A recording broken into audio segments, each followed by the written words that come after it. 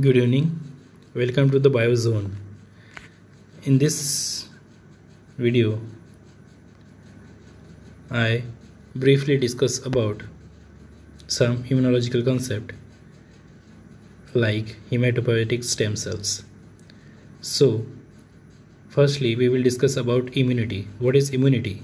So, immunity is one of the type of ability which is developed in your body to fight against the foreign particles or foreign invaders. So, immunity is formed when or largely or aggressively form or develop when foreign particles or foreign invaders enter into the body. The hematopoietic stem cells or HS C is a such types of cells which is formed or which is made produced in bone marrow. Okay so bone marrow hematopoietic stem cells is formed in bone marrow and they produces a such types of two different types of cells. Firstly lymphoid progenitors and myeloid progenitors so lymphoid progenitors and myeloid progenitors. Firstly, we will discuss about the myeloid progenitors.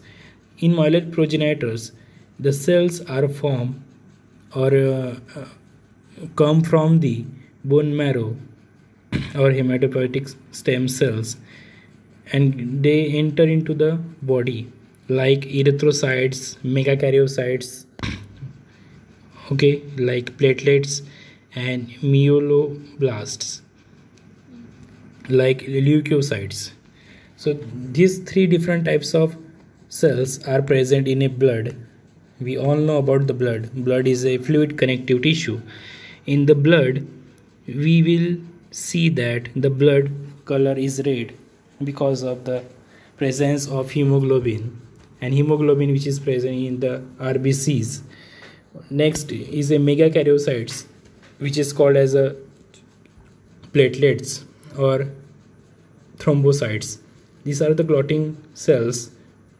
When, uh, when some injury occur in, in your uh, different in your body, the megakaryocytes, these cells are uh, form a plug, clotting plug, which is help in a blood clotting and lastly we discuss about leukocyte which is called as the myeloblast they are differentiated into three type four types monocytes neutrophils basophils eosinophils or acidophils.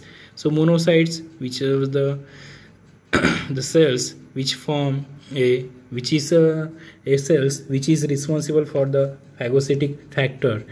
The cells is is form a phago a cells which develops in a, in a WBC cells and form a and engulf a foreign particles.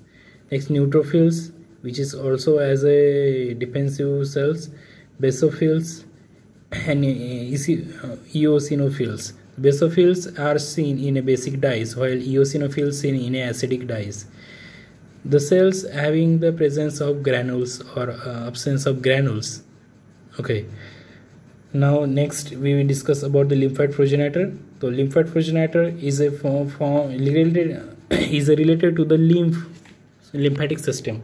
So what is the lymphatic system? In our, in our body the, the various different systems are present.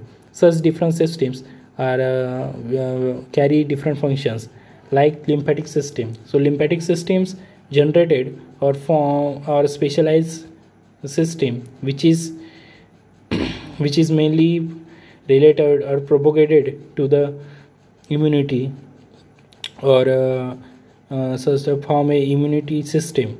So lymphoid progenitors form a three types of lymphoblasts t lymphocyte b lymphocytes and nk cells. So t lymphocytes are uh, T also known as the T cells, which is mature in the these cells are come from the bone marrow, and they get, they go into the thymus.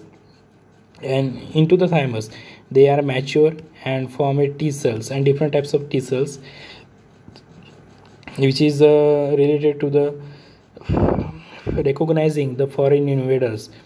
While b, b lymphocytes are mature in, in bone marrow they develop a plasma cells which is uh, further and they finally they form a antibody which is responsible for the binding with the antigen. Antigen is a foreign particles and these foreign particles are uh, and this antibody when combined with the foreign particles the uh, antigens is uh, destroyed. Next natural killer cells means nk cells. When some kind of invaders or foreign particle like bacteria viruses are enter into the body. The firstly we recognizes by the myeloid progenitor cells and after this the NK cells which is uh, uh, attach attaches to the or uh, come or combining with the such types of foreign particles and they engulf them.